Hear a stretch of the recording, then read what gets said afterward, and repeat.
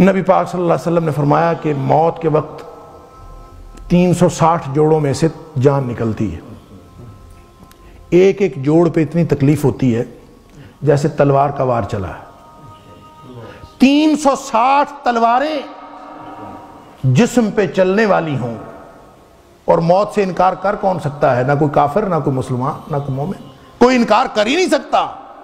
तो अगर 360 तलवारें जिस्म पर चलने वाली हैं तो बर्दाश्त कर लेंगे।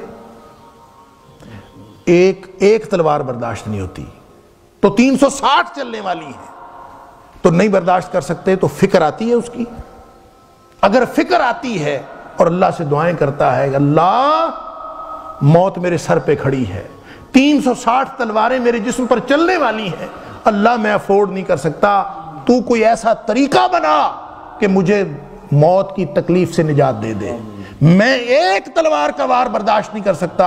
दिन रात रोता है, अल्लाह की मिन्नतें करता है कि अल्लाह मेरे जिस्म पे ये तलवारें नहीं चलनी चाहिए, मैं तो अफोर्ड नहीं करता। नबी पाक सल्लल्लाहु अलैहि वसल्लम अल्लाह मोमिन की मौत की नौयत ही बदल देता है। मोमिन की मौत और काफिर मुनाफिक की मौत मुख्तलिफ़ है।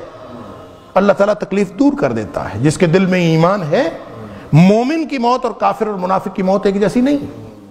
अल्लाह अकबर। मिसाल ये बयान फरमाई कि जैसे काफिर और मुनाफिक की मौत ऐसे है जैसे रेशमी कपड़ा कांटेदार झाड़ी के ऊपर डाल दिया जाए और एक तरफ़ से खींचा जाए, कांटे उसके अंदर चुभ जाएँ और एक तरफ़ से खींचा जाए तो जिस तरह से वो कपड़ा तार तार हो जाता है, इस तरह काफिर और मुनाफिक की जान खींच कर निकालते हैं फरिश्ते। लेकिन मोमिन की जान? फरमाया, जैसे चमड़े की मश्क पानी की भरी हुई हो। पता नहीं आपने देखी कि नहीं, बुज़ुर्गों ने देखी होगी।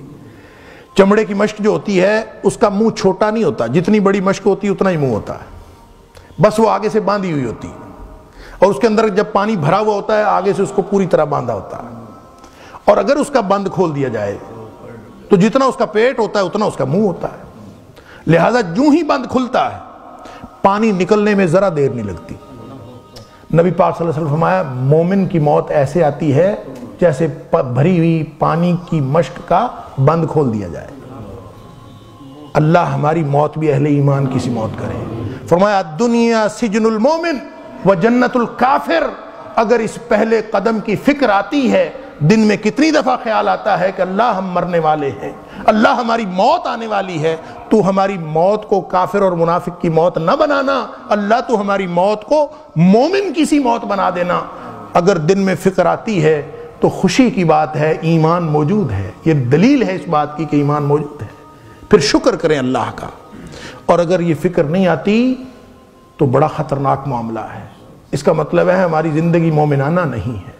फिर हमें अपने ईमान की फ़िक्र करनी चाहिए।